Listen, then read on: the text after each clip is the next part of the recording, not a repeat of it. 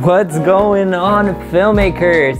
Today we're gonna have some fun with the Moza Air 2S. I'm pretty curious how this gimbal is. I'm gonna give you my feedback on it. So we're gonna test it out. I'm gonna tell you if this gimbal is good or not.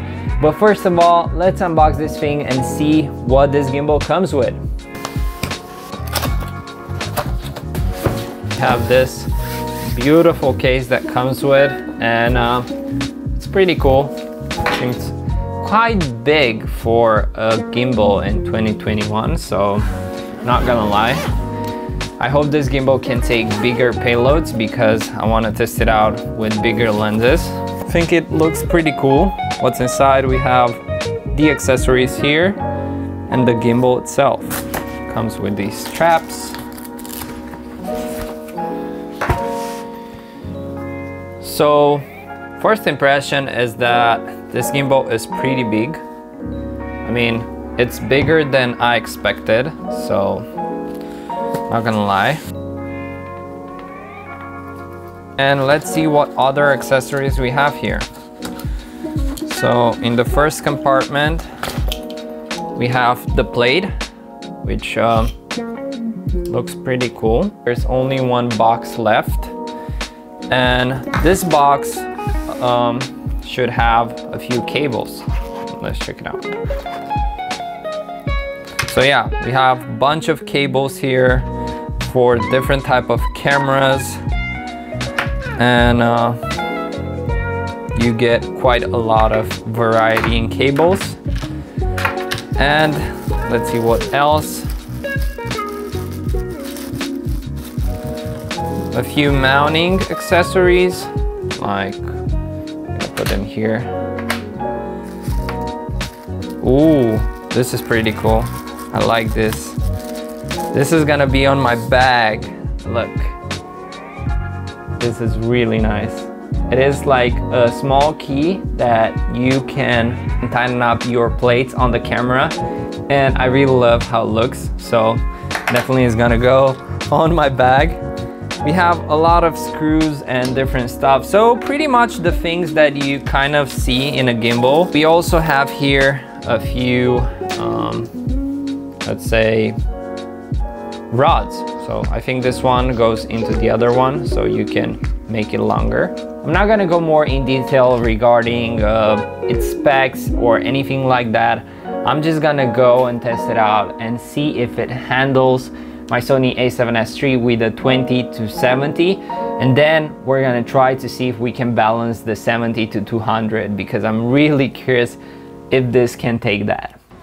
So guys, I managed to calibrate the Sony a7S III with the Sony 24 to 70 on this gimbal and it was really easy, nothing complicated about that.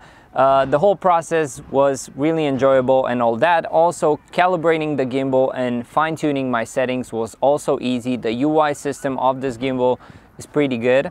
But there are a few things that I did not like about this gimbal in the first place. And number one is the fact that although it's really cool that it has locking mechanism on each axis so you can transport this gimbal easier, the locking mechanism is not so good. Like whenever you like move the camera, it moves. It's not locked all the way. So there is still a little bit of movement in the axis, even though it's locked.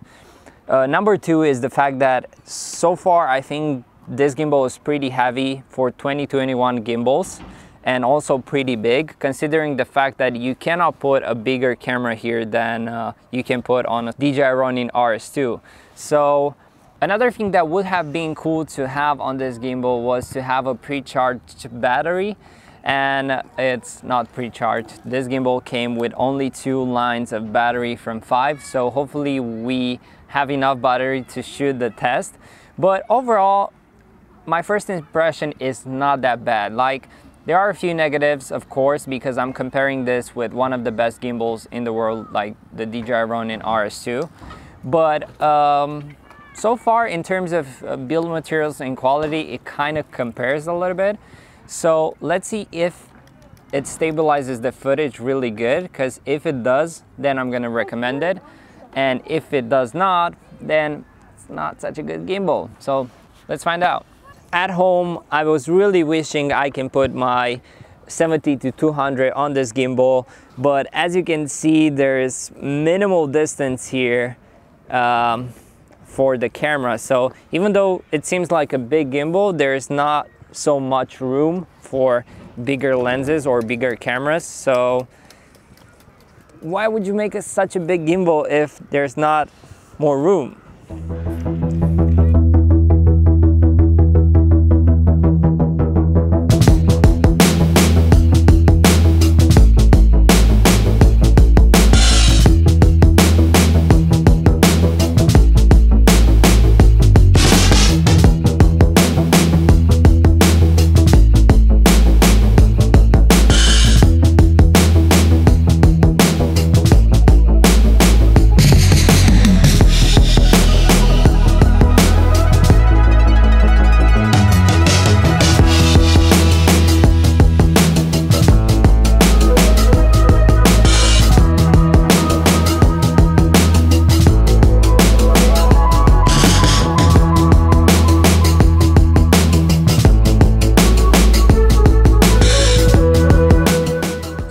Overall experience with this gimbal was not an amazing one because I'm not getting the power that I want out of this gimbal. So in some cases the gimbal is not stabilizing the way it should. And I think that is because of the fact that the batteries are not fully charged. So we're gonna go home, charge the battery and see if this gets better because right now we are in ultra strong mode.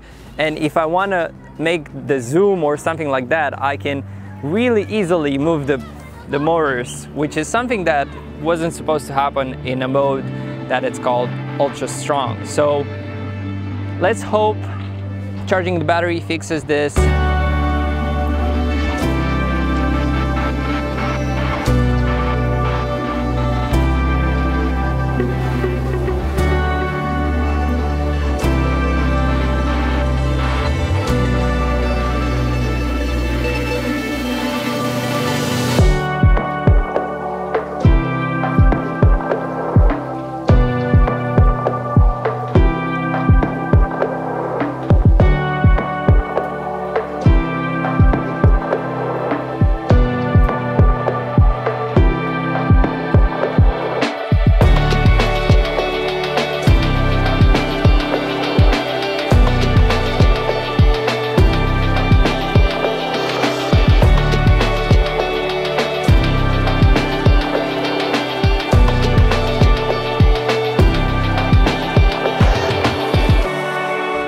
Though I started off not liking this gimbal so much, now I actually like it. And to be honest, there are a few things that I didn't like in the first place, like you saw. But after using it a little bit and after getting used to it, I started really liking this gimbal and mostly for the way it works because it stabilizes the footage really, really good. I'm quite impressed on how good it stabilizes it. And I think this is the most important thing at a gimbal to make your footage as stable as possible and the rest of the features are just bonuses. It has a lot of intuitive features on it and to be honest, one of the things that I love the most about it is the fact that you can control the gimbal really easy. You can set the deadband, you can set the follow speed, you can set all these settings in just a few buttons. This is really good. Also, you have here on the side a lot of mounting points. You also have a cold shoe mount so you can put your, let's say, uh, audio features or lavaliers or microphones and all that. And you also have a, a lot of different mounting points. So to be honest, even though it's not like the best gimbal in the world, it actually stabilizes really good and that's the most impressive thing for me. So my final impression about this gimbal is that it's pretty cool and I totally recommend it. For the price you pay, you get a really good stabilization system and that's everything that matters. I prefer better stabilization over features anytime. And this gimbal really delivers. Um, to be honest, I know this uh, review was a little bit different from what you guys are used to, but hopefully you enjoyed it. And if you did, make sure to subscribe and leave me a comment what you thought about this video and this gimbal. And until next time, I really want you to go out there, create some epic content and have fun. Cheers!